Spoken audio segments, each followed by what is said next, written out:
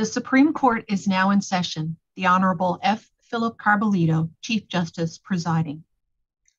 Thank you, uh, Madam Clerk. Uh, Good morning, councils. And will the clerk please call the case? This is Supreme Court case number CRA 20-009. People of Guam, Plaintiff Appellee versus Eric Juan Palacios Quitugua, Defendant Appellant. Appearing for the defendant appellant is Attorney M. Heather M. Zona. Appearing for the plaintiff appellee is Attorney Jeremiah Luther. The panel consists of Chief Justice F. Philip Carbullido, Associate Justice Robert J. Torres, and Associate Justice Katherine A. Maraman. Attorney Zona reserves how many minutes? Seven minutes. Thank Seven you. minutes.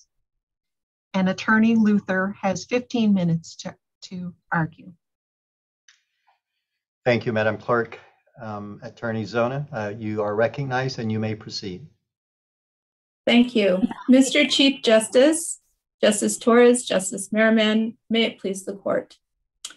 This interlocutory appeal addresses whether Mr. Quitugua, as an indigent defendant, may apply to the trial court for expert assistance ex parte, under seal, without notice to the prosecution and general public, and without revealing his defense strategies.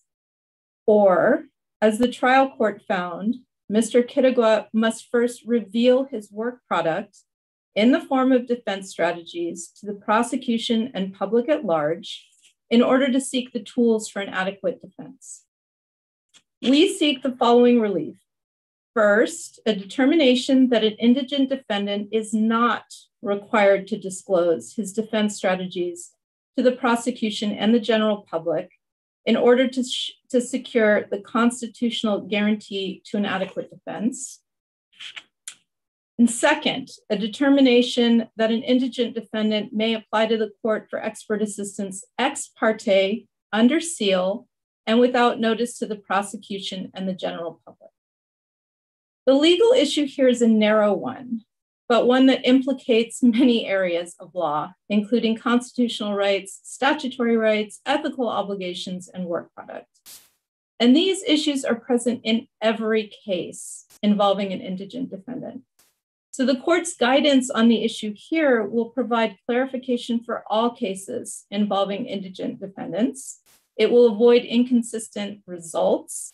And most importantly, it will protect the accused constitutional guarantees and his rights under Guam law.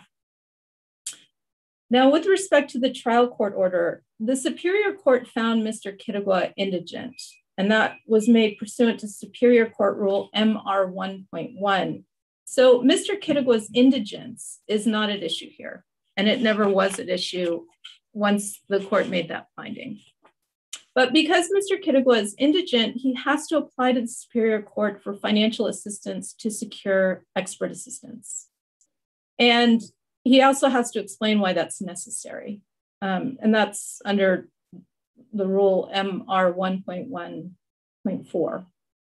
So Mr. Quitugua did apply to the trial court ex parte under seal and without notice of the prosecution. And in accordance with Rule CVR 7.11, Mr. Quitugua submitted a declaration explaining why notice of the application was not provided to the prosecution. And specifically, the reasons were number one, to avoid broadcasting his defense strategies. Number two, to avoid violating his due process and equal protection rights by conditioning receipt of the tools for an adequate defense on disclosure of his legal strategies. And number three, because permitting the prosecution to weigh in on his defense strategies and tactics in the form of seeking expert assistance would undermine both the attorney client privilege as well as Mr. Quitugua's right to effective assistance of counsel pursuant to the Sixth Amendment. Mr. Quitugua further requested that any order and offers of proof in connection with the request be made ex parte and that they be filed under seal to afford him that same protection. The Ms. trial Ms. Zona, yeah. Can, can, I ask a question here? Um, yes. It, seems that the the prosecution has conceded that uh, a request for an ex parte hearing to raise the substantive issues uh, before the trial court in camera regarding the necessity of an expert uh, in a particular case seems appropriate. Uh, but they argue that the mere act of noticing them that you're going forward with uh, such a request doesn't fall within the protections of the work product doctrine. And they um, asked that we look at uh, Georgia law where there's notice of public, you know, generally a notice, a public filing of a notice about the request without any, you know, details, I guess, concerning the uh, particular expert that's going to be uh, sought and the reasons for it, et cetera.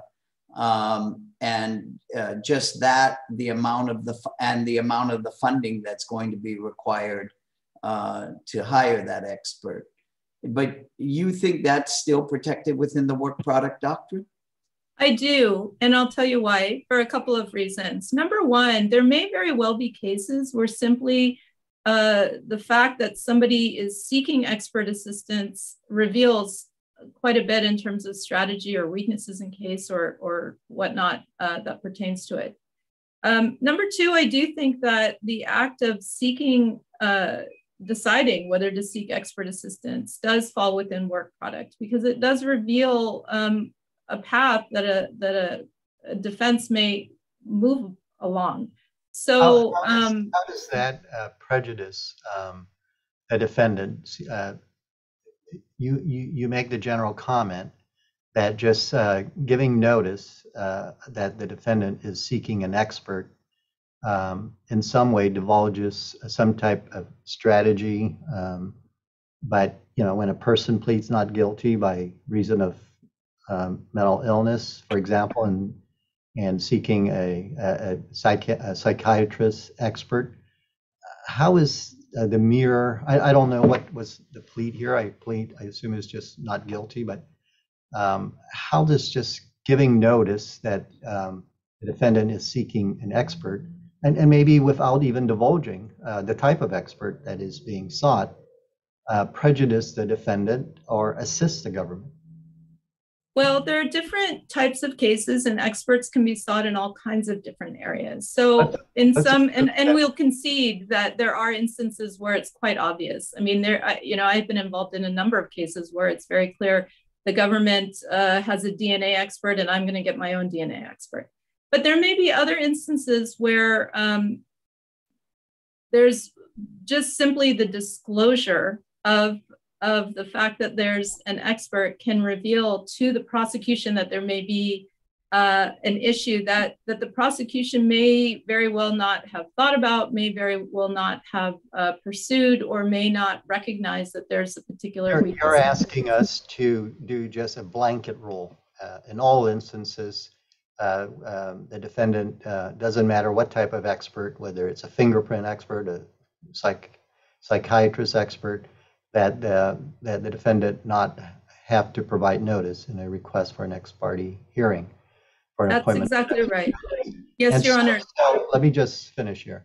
Oh, and I'm so, sorry. you know, just saying generally um, that there may be uh, um, conveying. Let's let's give me an example. I mean, if the defendant uh, pleads not guilty by reason of mental illness, uh, decides that uh, uh he or she wants to then uh, seek an expert uh, witness. Um, how would that, and if we have a blanket rule, how would giving notice to the government prejudice your client or the defendant Well- in the hypothetical? Well, if not not guilty for reason of mental illness, I mean, I think that that is perhaps not the, the best example for what I'm looking for, because in that instance, I think it's clear to everyone that we would need psychiatric uh, expert assistance on, on both sides. And I would imagine the, the I, court. I use that example as the first instance because you're asking us to do no exception across the board that you not be provided, uh, that the government not be provided notice. So let's use a different hypothetical and that defendant just pleads not guilty. And so how Right. does, uh, how does uh, noticing that um, the defendant is seeking an expert witness um, prejudice the defendant Well- without giving the reasons of why you're asking for an expert. Absolutely. So um, I would also clarify that what we've said in our briefing is that it's actually up to the defendant and the defendant's counsel to decide when to provide that notice. So it wouldn't preclude uh, in a situation as as your honor pointed out where there's not guilty by reason of insanity uh, that that wouldn't preclude the defendant from providing that notice. And certainly there are instances where uh, a trial court judge would would say uh, okay counsel this is the issue. I want you to disclose your expert by this date this expert by the other date. Um, we could have a situation for example perhaps there is a um, blood splatter analysis. Uh, maybe there are no experts uh, needed for perhaps uh, a, case, but it's very clear that there's blood splatter, and and maybe the prosecution hasn't thought about that. And so, providing notice that we're going to actually be looking at that that that could in fact key up for the prosecution um, the fact that there is that issue. But more importantly, the, the other issue in terms of prejudice could come out at trial. So, for example, even in an instance where, for example, uh, DNA were an issue, and the um, prosecution clearly will have a DNA expert, and the defense might not necessarily uh, want to uh, disclose right away that there's a DNA uh, expert at trial by notifying uh, that there will be an expert sought. Um, I, I, could, and I, am just using this as, as an example. I could talk to my DNA expert. The prosecution would know that I would have identified an expert, but they can probably figure out based on the facts. And then I don't call that expert at trial. So I would not, not want to have a situation where then at trial, the prosecution is able to argue, well, hey, they sought expert assistance. Where's their expert? Their expert isn't even here. And therefore, you should side with us. That's an advantage that they would get that would prejudice my client that they would not necessarily have if they didn't know that there was an expert being sought. And this is, by the way, the um, process in California, um, you know, where I have practiced, we always would file our requests uh, ex parte and under seal, except in a case, uh, for example, where um, NGRI uh, is an issue for exactly that reason. So again, it's not um, it's not precluding uh, notice to be given to the prosecution in an appropriate case. But I think that to say that there needs to be notice in every case sort of is is backwards because it does create so the so so do we follow the jurisdiction that leaves it to the discretionary of the trial judge uh, to determine uh, whether or not notice should be given or not or or ex parte whether uh, the ex it should be an ex parte hearing or not I think that with respect to the notice, uh, the judge at the end of the day has has the ultimate authority to to run the case. Um, but I would say that in the first instance, it would be up to the defendant as to whether that notice should be given for those reasons that I just articulated.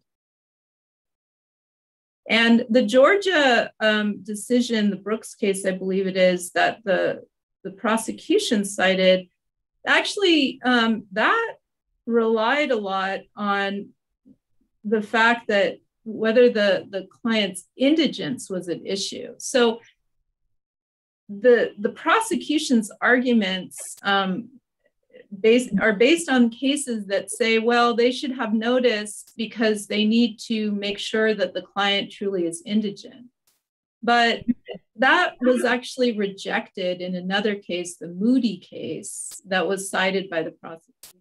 well what about the instance where um, the trial court disallowed the ex parte hearing um, without notice but um, during the ex parte hearing uh, determines that it would be helpful for the government to weigh in.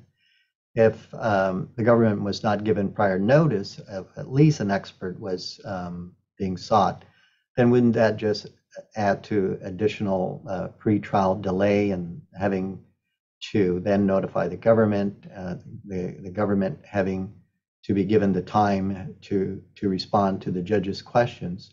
Whereas if the government was provided notice uh, uh, without the reasons or which expert is being sought, uh, then the government at least can provide, based on its knowledge of the facts of the case, any information uh, to the trial court uh, at an ex parte hearing in a written filing, um, information that may be helpful in arriving at a decision.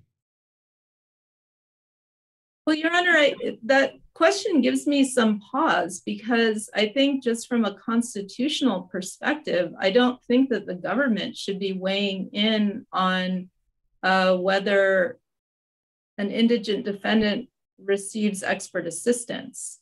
I, well, I, think that in order to do that, they would have to be um, weighing in on. I mean, I mean, because the, the defendant already is required to justify to the trial court why the expert is necessary.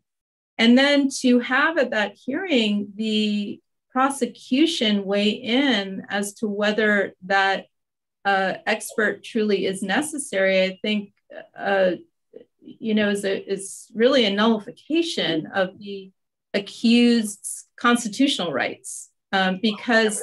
If we uh, follow the Arizona courts and several other uh, jurisdictions, um, they've already um, taken the position that there's no constitutional and in their case statutory uh, right uh, for a, a, defendant to be entitled to an ex parte hearing uh, when it is seeking uh, expert an expert witness at government expense.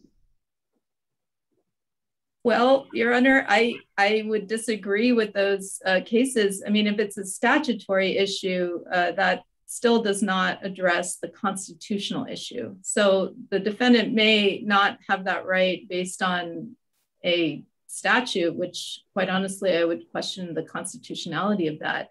Uh, but the defendant still would have a right under the Constitution, the United well, States. Arizona, the Arizona Supreme Court didn't believe that to be the case, and and and as Justice Carbullido ruled, they they said there was no constitutional right to a ex parte hearing on the necessity uh, of an expert. But if, I mean, you know, the situation may be different as, of course, where indigency has already been established and where indigency has not been established. So, in the process of making a claim for an expert witness, if part of that same motion, you're trying to assert that the defendant is indigent um, and entitled to, uh, and hasn't qualified and yet and is they're requiring the court to make a determination on that. I mean, one would expect maybe that bright defense counsel like yourself might bifurcate that motion, but what happens if a, if they come in and they don't? Um, I, I mean, are you suggesting that the, the state can't make an argument about qualification or shouldn't be entitled to prove that the person is secreting assets and not showing a full representation of their qualification for representation? Well, no, I think that the, the government always can be present at any determination as to a client's indigency. I, I mean, I, I think that's the, the I think that's their right. Uh, obviously, the, the court has the ultimate ability to decide and determine whether someone is indigent. And I think in Guam, I, I can't speak to Arizona, but I think in Guam, there's a fairly a rigorous process. Uh, probation is involved. There are forms that are filed under oath. Um, I think we articulated that. So I, I think the government can always uh, address that, but I, I do think that that is an issue that is separate from uh, whether a, an indigent defendant receives expert assistance. So I, I would think that bifurcating that, I don't, I don't think that, I don't think that they have anything to do with each other in the grand scheme of things, uh, I think indigency is simply a hurdle that the uh, defendant has to pass in order to show that he's eligible for uh, an expert paid for by the court. But it does concern me as well to, to consider having the um, prosecution aware that the indigent defendant is seeking expert assistance because certainly it doesn't go both ways, right? I mean, we as uh, representatives uh, of indigent defendants uh, in court at counsel, we have no idea when the prosecution goes and consults with their experts Uh, so I would be concerned, and I would imagine the, the prosecution should be concerned too, that if we do end up having a situation where the indigent defendant is required to disclose that and provide notice to the prosecution, I think as a matter of fundamental fairness, then the prosecution would be required to advise us when they consult with experts, retain experts. Um, and I don't think that that is in keeping with uh, work product protection, certainly, uh, but but also uh, in terms of adequate representation of clients and avoiding prejudicing the clients and and a whole host of other uh, issues, including uh, just setting up uh, a, a, really very troublesome and, and um, thorny issue for courts to decide later on.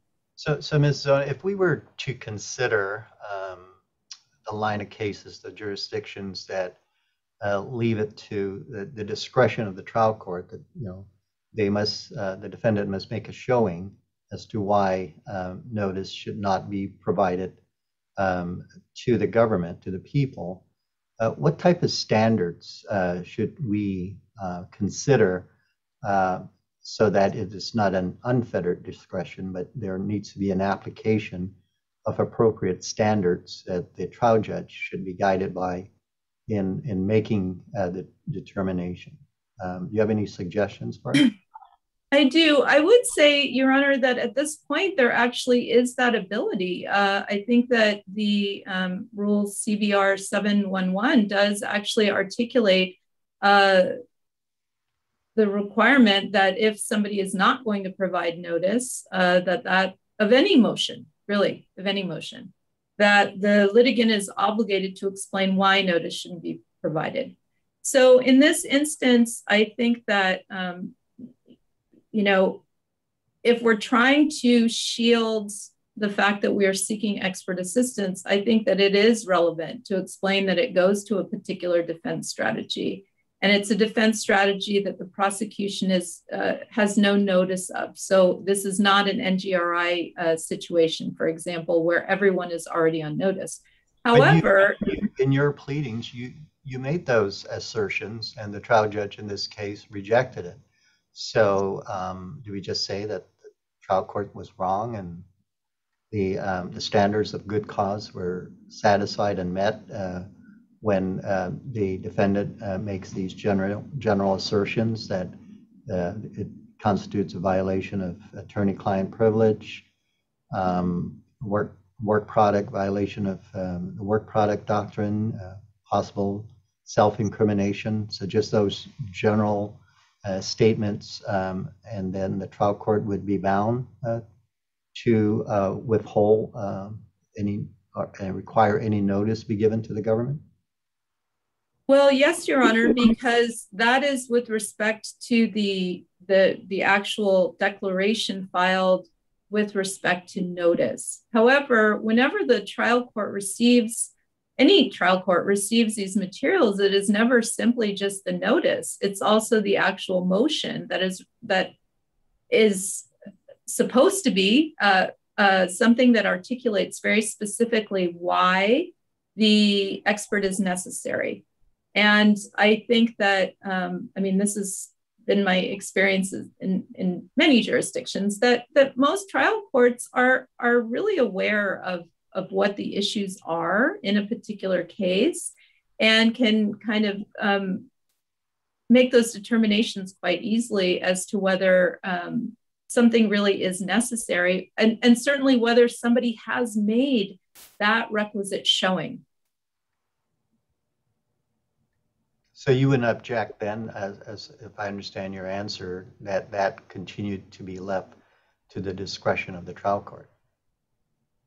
Well, I think it has to be left to the discretion of the trial court. And I realize I'm eating into my, my time well, here. I, no, it, it, doesn't, because there are jurisdictions that say that no, the defendant is entitled uh, to an ex parte hearing and notice need not be given to the government. Well, no, Your Honor, I, what I was starting to say is that I do think that it's up to the discretion of the trial court as to whether the expert is actually granted. Oh, so the trial court does does look at that and and has to to weigh in on that. Um, as to whether notice is given, you know, I I don't think that that is within the discretion of the trial court. I think that um, unless the um, defendant uh, specifically agrees uh, or you know provides notice himself herself uh, of the request, I, I, don't think that the trial court should be uh, disclosing that because I think for the reasons that we've articulated, I think that it's a constitutional violation. I think prejudice is the case. I think it sets up two different standards. I mean, there are many, many, many problems with that. So no, I don't think that that should be left within the discretion of the trial court. All right, if you wish to uh, reserve your remaining time. Yes, thank you. Mr. Luther, um, you are recognized. Thank you, Mr. Chief Justice, Justice Torres, Justice Maraman. May it please the court.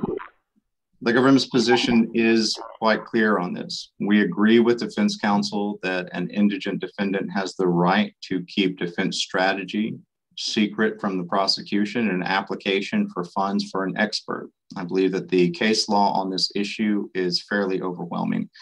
Where the case law differs is whether the disclosure actually produces a harm that must be remedied by awarding a new trial. That's the difference between our argument prior to and our argument before this court now, our argument against the interlocutory appeal.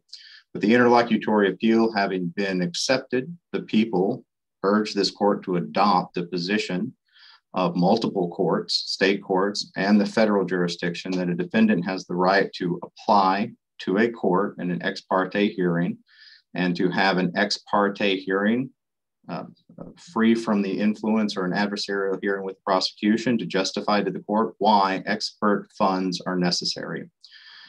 What the prosecution and the government is asking for is simply notice that that hearing or the application has been made. In that application and notice, we are not asking that the defense counsel reveal trial strategy. We are not asking that defense counsel reveal the motivation behind requesting the expert, the expert's area of expertise, or the person or individuals sought to be relied upon against expertise. I want to bring up what about issue. what about Ms. Ms. Uh, Zona's argument that just the mere disclosure of the fact they sought an expert, even without identifying the subject area or any of the areas that you suggested you're not asking for, uh, would give some advantage to the government, and they'd be able to make that argument at trial that they sought an expert and that expert didn't testify. I don't believe that we would have a relevancy ability to make that argument at trial to reference a witness who was consulted by defense counsel but then produced no evidence whatsoever during the course of the trial.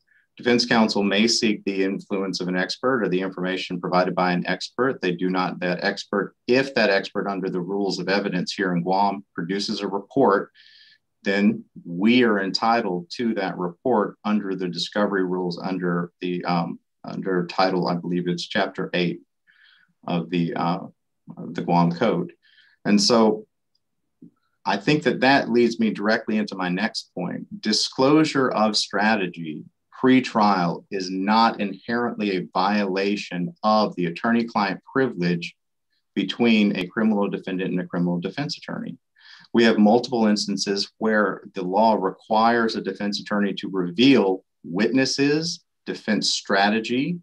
Um, uh, if there is a report, the, the prosecution, upon motion, is entitled to that expert report prior to the trial. And I think that that's essential here because, under counsel's approach, this is an all or nothing, take it or leave it approach. The people are simply asking that our right and our interest, which has been recognized by the court in Ake and the court in Louisiana in the Touchet case, and the court again in uh, State v. Bright, I believe in Georgia, that the government has an interest in monitoring the expenditure of taxpayer funds. In, in this, uh, does it make a difference that uh, Ms. Zona points out that uh, the Judicial Council here has responsibility for the indigent defense funds, and the Judicial Client Services Funds is separate from the Government of Guam General Fund accounts. So, what is the interest of the uh, prosecution in, in, in protecting the fisc, so to speak, as you argued, um, when it's the judiciary already who's responsible for that and not the executive branch? In each of the cases that I cited to, the judiciary is administering the funds that counsel says are being administered under a different, the, the source of the, the taxpayer dollars and the way that the taxpayer dollars are doled out doesn't diminish the government's interest in another branch of government doling out taxpayer funds unless the funds are generated independently of taxes, which I'm, the judiciary does not have a tax authority in, in and of itself. The legislature and the executive have a right under our separation of powers authority to have some kind of monitoring authority or some interest in how those funds are dealt out which is why I believe one of the reasons that when counsel applies for uh, indigency, the prosecution is noticed of it right away. We don't have a separate ex parte hearing for an, a, a, every defendant that comes before the Superior Court or the Magistrates Court, where the magistrate independently interviews that individual to find out whether or not they are entitled to indigent funds. That is put on the record and that goes before the people. And Does, that does public. it matter? Does it matter, Mr. Luther, that there are um, inherent restrictions in, in the um, use of these funds? There's a cap of $1,500 uh, um, that can be uh, billed uh, towards um, securing an expert witness. And so um, I'm just trying to understand what is it that the government um, can contribute uh, to the judiciary in the interests of um, being uh, vigilant uh, and not um, have taxpayers' uh, funds being unnecessarily um, wasted. Um, and so, what is it that the government, if they're entitled, as you argue, to notice so that uh, the people can make sure that the judiciary is properly um, um, expending uh, these limited taxpayer funds, regardless of the source of how it's raised? um, what insight can you provide to the trial court that the trial court is may not already be mindful of? The the insight is the the notice is the right from what I see under the case law. That the government's interest, while it may not be the most overwhelming interest, and, and counsel may not find it a, uh, a, a compelling interest, the courts have recognized that the government has an interest in how the taxpayer dollars are spent. And we have to, and the government's solution in this case is to thread the needle, so to speak, to balance the interest of the defendant in having his or, or protecting his defense strategy prior to trial. And then also weighing that against the government's interest in having some kind of notification so that taxpayer funds are not doled out completely in secret. Under defense counsel's argument, or appellant counsel's argument, the doling out of every application for an indigent defendant would be secret and it would remain secret even after the trial has concluded. How those funds but at least with notice the government is kept at least on the surface in the loop and that we're aware of the numerosity if not the substance of applications for expert counsel how we would proceed if the government found that there was some kind of maybe abuse or excessive application in this case. I think that that's a, an area that we would proceed to, and it's an extreme, but it is something that government has an interest in. And I do not believe, and the people have argued in our brief, that by allowing us simply notice that an application has been made, not even the outcome of that application or the procedure, simply allowing us notice does not violate a defendant's right to keep his defense strategy secret. Um, I think it balances the interest of the government against the defendant. And we submit that that is the proper course that the court should take. It recognizes the government's interest and it recognizes the defense interest. Um, I, I, do want to clear. What about issue. what about the uh, uh, public defender's uh, request for equity? If we are going to require them to disclose uh, a retention of, a, of an expert, um, even without the subject area the government should be bound by the, the same requirement.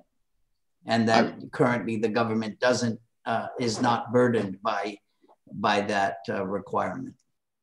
I, I, I'm glad that you brought that up, Justice Torres, because I, I am honestly a bit confused as to counsel's argument on this point.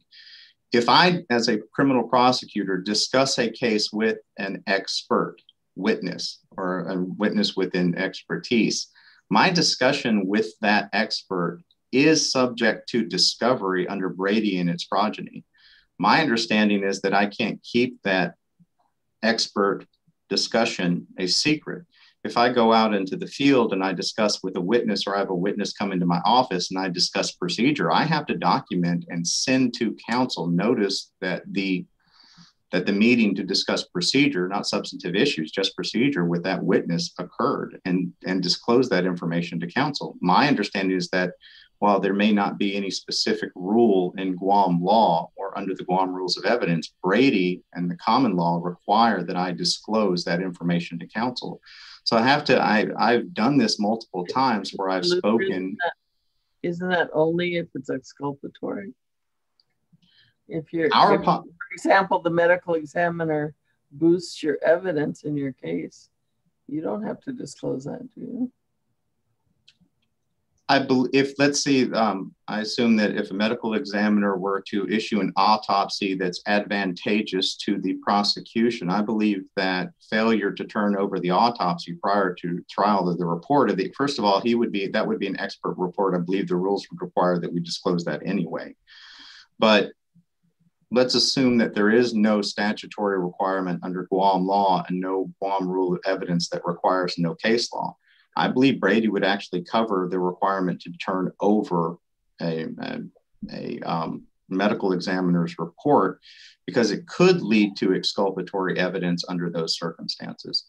If I have a substantive discussion with an expert outside of the case, um, I have to, my belief is that I have to turn that information over under um, US Constitution, under, under discovery rules. So whether or not Guam law addresses that. Um, so I, I was a little bit confused. I do not believe that a prosecutor has the right to consult with an expert completely ex parte to expend taxpayer funds to receive a report or an evaluation by that expert and then not disclose that information. Luther, let me just, I, I, to, to, me, I, this is a, a, timing issue is the way I'm, I'm seeing it. I mean, it's obvious that, you know, pre-trial when a court has set uh, the time periods in which um, uh, these experts' reports um, and have to be provided if they have been intended to be used at trial.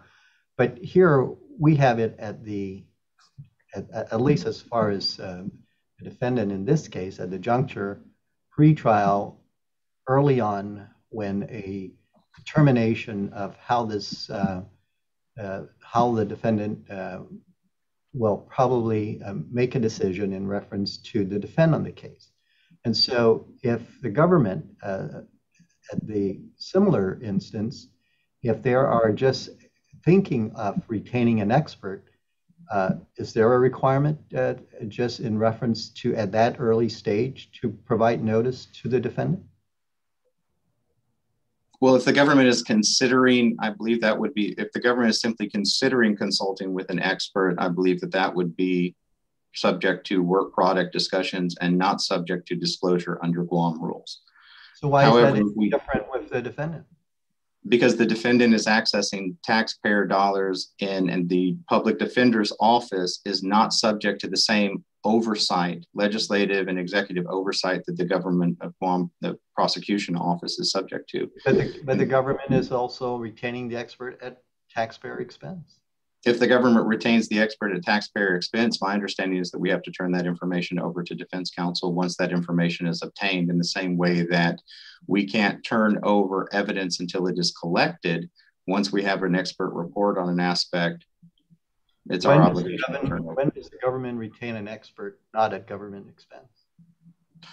I don't believe the government can retain an expert um, without a government expense. So I believe in every case where the government uh, again goes goes out to solicit an expert and actually retains them outside of the areas such as the medical examiner, which we do not have to retain, but we exert very little control over the medical examiner and the medical examiner's office and the methods by which the medical examiner draws his conclusion. I think that's the best example because that's the most frequent expert that the government um, that the government entertains. We have experts with so at you can see that after the fact, and the- when the government decides um, and does retain, that uh, then the government is obligated to provide notice to the defendant. But what about the um, time period when the government is contemplating to um, retain an expert uh, for its own reason? Does the government have to provide notice uh, to the defendant uh, that it is thinking and then wishes to um, retain an expert uh, before actually engaging this expert?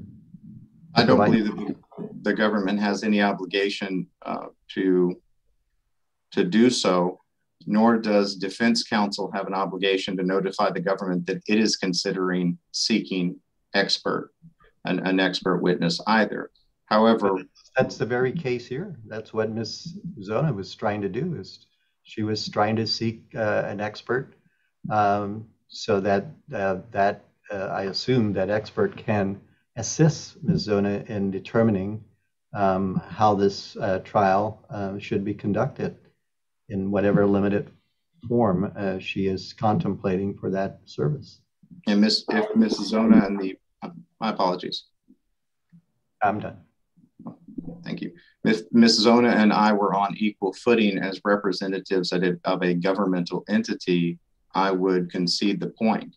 However, Ms. Zona's public defender service and the alternate public defender are semi-autonomous bodies that are not subject to the same internal oversight that the government the government is. If I seek to retain an expert outside of the normal expertise, let's say outside of the medical examiner, let's say outside of the um, a forensic analysis or a firearms analyst that is, is already on the government payroll with GovGuam, my application has to go through several different levels of bureaucracy and be reviewed by those bureaucrats prior to the release of funds sufficient to retain that expert.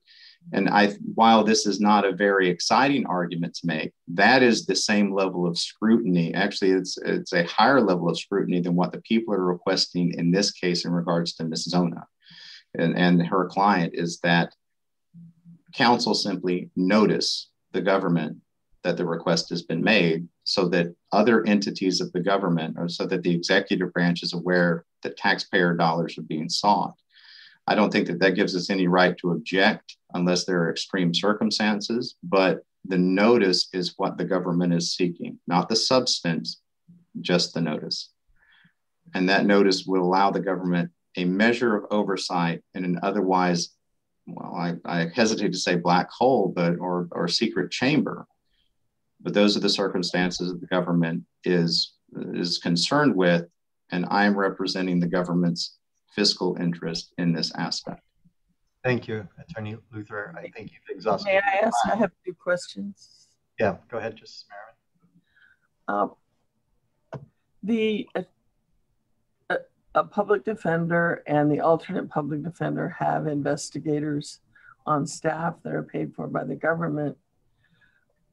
So they're in some sense have an advantage um, to starting a case and, and trying to come up with a strategy over a private attorney from the attorney defense panels doesn't it disadvantage a defendant who has a private attorney who has to come to the court to get money for an expert, whereas maybe the public defender and alternate public defender do not? So if a private attorney comes to the court and says, I need a fingerprint expert, uh, because I want may want to challenge the fingerprints, but I need someone to tell me if they can be challenged. Uh, doesn't that disadvantage unfairly those indigent defendants? If I, Justice Maraman, if I understand your question, I don't want to take up too much time. The question is rooted in whether or not what access to fairness money grants an indigent defendant in those certain circumstances, the way that I understand it, and I'm, maybe I am not understanding your question, question correctly.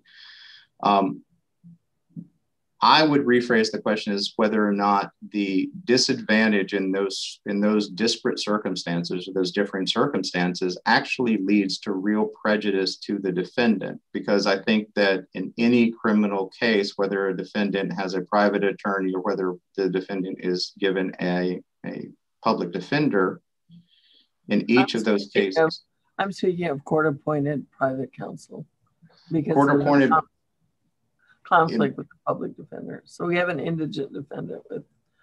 Uh, I understand your question now. Um, again, the people's position would be that notice of the request does not prejudice the defendant sufficient that he is deprived of a fair trial or that compromises attorney client privilege to the extent that the defendant cannot have the free communication with his attorney that the law is designed to give him in those circumstances, in your situation where a court appointed attorney has to apply for services for an investigator, um, I would find it confusing as to why um, a court appointed attorney who does not have an investigator al- already on staff would believe that the application for an investigator, which I wouldn't expect that attorney to have in the first place, I think under uh, appellant counsel's approach, that would that application would need to be in secret as well.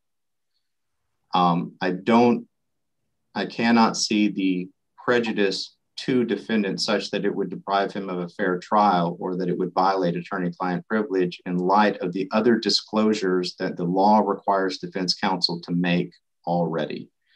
To me, the revealing of potential witnesses and an expert report, very few but substantive disclosures that the law requires defense counsel to make are far more revealing of trial strategy. And these are, again, before trial.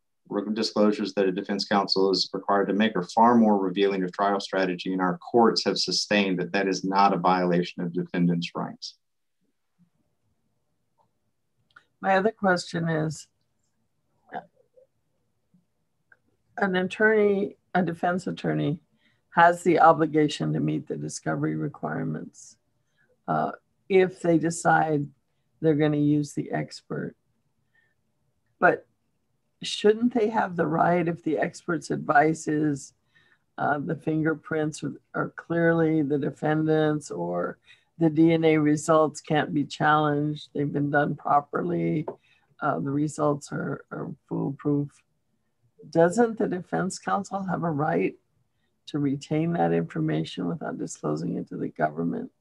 Meaning that the government shouldn't even be in notice or even thinking of those options? As a prosecutor, I'm not sure how I would be aware that the defense counsel has what the results of any expert analysis would be if defense counsel does not turn that information over to me. So if defense counsel doesn't reveal the identity of a defendant either through statutory discovery rules or because they simply do not wish to use the expert witness at trial or the report of the expert witness at trial that the information disclosed, then I'm not entitled to that information. And under the government's proposal before the court today, I still wouldn't be entitled to that information. Simply notice that an application for a witness had been made in the past at some point during the pretrial procedures. That's the only notice that I would have under the government's proposal. But I, I, again, defense counsel and I are not very far away on this belief that defense counsel is not required to disclose the strategy behind the application for an expert witness the people believe that the government's interest, which I am bound to represent, is simply to notice that an application has been made so that we can monitor in some form or fashion the, exp- the, the, the dispensation of, of taxpayer derived funds. And, and, you, and so, you don't trust the judges to do that? Your Honor, it is, I think, a, a principle of our uh, three part governmental democracy system that the executive branch checks the judiciary, the judiciary checks the legislative and the executive. And so while uh, I may not have a specific example where I don't, I, I can point to a, a, court or a judicial officer where I don't trust them in the expiration or the dispensation of funds, that doesn't mean that we won't have that situation in the future. And it doesn't, um, it doesn't negate the executive branch's obligation to monitor the dispensation of taxpayer dollars. Thank you. No further questions. Thank you, Justice. Thank you, Assistant Attorney General Luther. Um, um, Ms. Zona, you can, you are recognized to use your remaining rebuttal time. Your Honor, I just wanted to make a couple of points in response. Um, number one, uh, just to disabuse any confusion, um, we are not, uh, no party is required to disclose uh, expert information reports, et cetera, if they're not going to use it at trial. That, that's a standard uh, provision in any civil case, and it's certainly the case here in, in the criminal case. And in fact, Ms. Under, Zona, what about, what about Title 8 uh, of the Guam Criminal Procedure Code? Um, specifically, let me just grab the section um, that references the uh, government's disclosure of expert witnesses. It's in uh, chapter 70, uh, and it talks about the, the prosecutor's obligation, and it's 70.10A3 to report any reporter statement of an expert made in connection of that case. And it doesn't have the same requirement that the defendant uh, has, where it's based on the uh, for the defendant's obligation under that provision. It's where he intends to use it at trial. That standard is doesn't seem to be present in that obligation under our uh, under the rules of discovery. Yes, and in the, in the criminal, in the and, and I'm sorry, I, I do want to clarify. So in the civil case, that's exactly what happens, and I think that's very standard. In the criminal case, we have a different situation because it is not. Um, this is a, this is the criminal equal. code of procedure. That, that's right, Your Honor. And I'm looking at um, section 7025, 8 GCA 7025, and it actually only requires the defendant to disclose experts, uh, you know, results of physical and mental examinations if the defense attorney intends to use it at trial.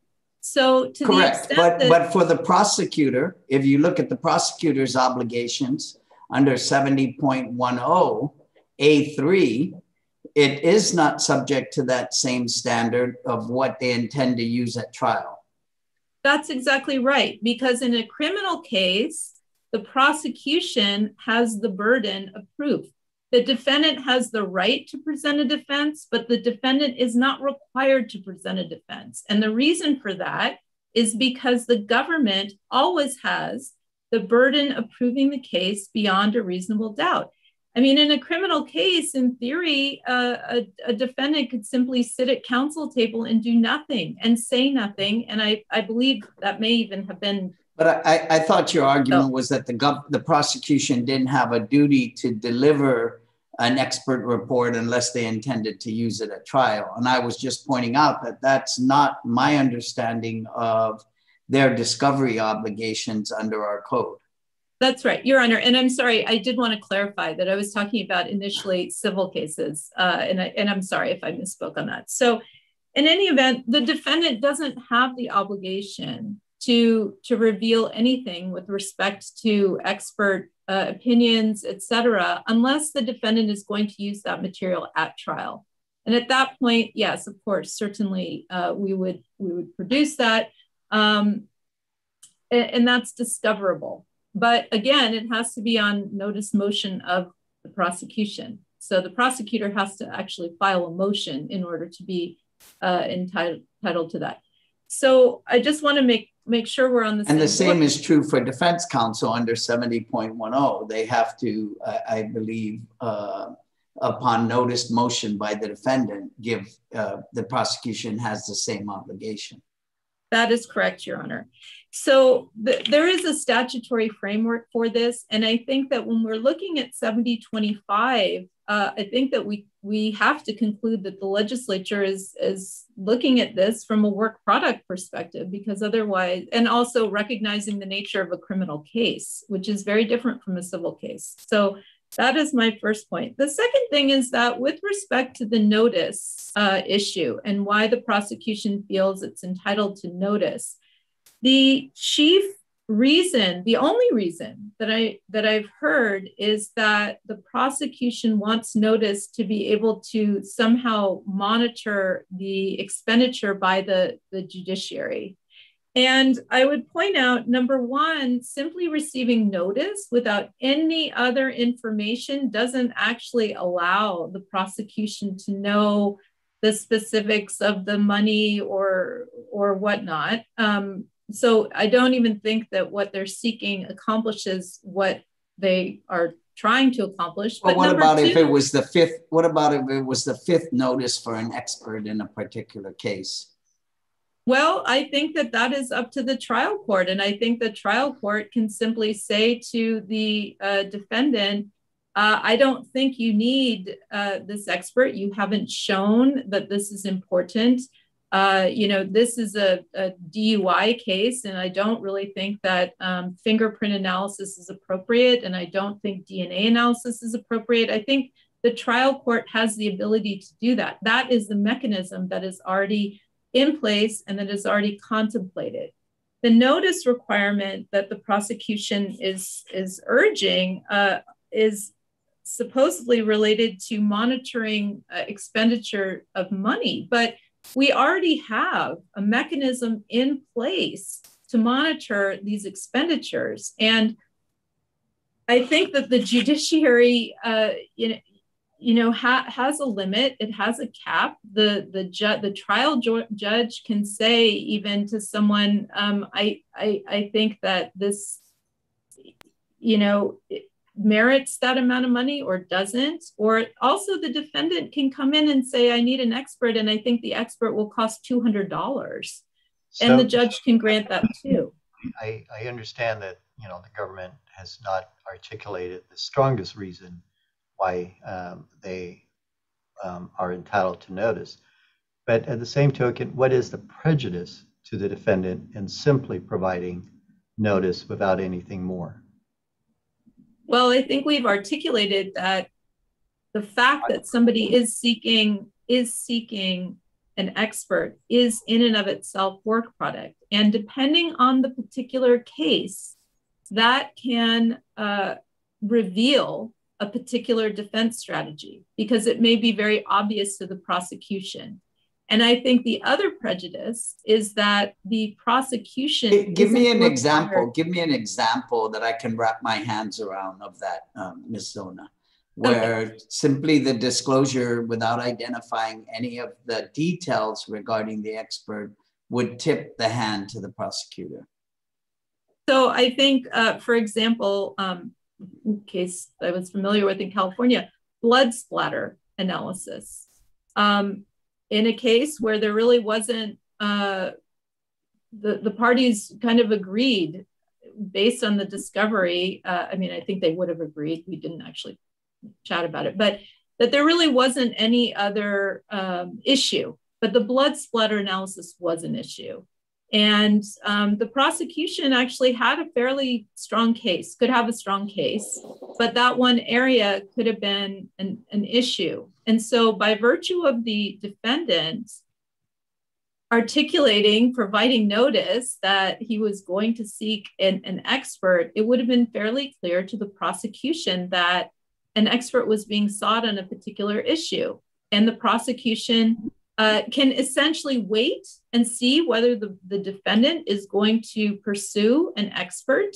And then the prosecution can then, in response, uh, go out and get its own expert. But essentially, but how, it's kind of letting. But how would they? How would the prosecution know whether it was going to be uh, blood splatter, whether it was going to be gun residue, whether it was going to be, you know, matching the, the bullet to the firearm, whether it was going to be a mental expert on, on his state of mind at the time that uh, he discharged the firearm. I mean, there seems to be a plethora of possibilities that uh, that expert could have testified to in this particular case. Well, that's possible, but it is also possible that in a case such as the one that I'm, I'm mentioning, where everybody kind of acknowledged that there wasn't a need for a, a ballistics expert, for example, or firearms or uh, DNA or anything, that really the only you know thing uh, that was kind of a potential avenue for the defendant was blood splatter analysis. So that would key the prosecution in, for example, in that particular example, to that area. And so the prosecution would essentially have noticed that the defendant is moving in a, in a direction um, and could seek its own expert. Or you could also think about it just in a general case where um, the prosecution isn't planning on calling any experts then finds out that the, the defendant is seeking expert testimony in one area, and then the prosecution goes out and finds experts in every single area uh, because it wants to make sure that it's able to address any expert issue. And uh, that's a problem. And then I also did raise the issue about the prosecution being able to say, uh, you know, in argument at trial, uh, well, they consulted with an expert, but where is the expert? The expert's not here. You know, we only have our expert.